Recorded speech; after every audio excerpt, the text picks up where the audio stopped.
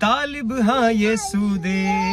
ਉਸੇ ਨੂੰ ਮੰਨਦੇ ਜੋ ਸਵਰਗਾਂ ਦੇ ਵਿੱਚ ਰਹਿੰਦਾ ਉਹ ਧਰਤੀ ਤੇ ਬਣਦੇ ਇੱਜ਼ਤ ਮਹਿਮਾ ਸਾਰੀ ਅਸੀਂ ਯਿਸੂ ਨੂੰ ਦਿੰਦੇ ਹਾਂ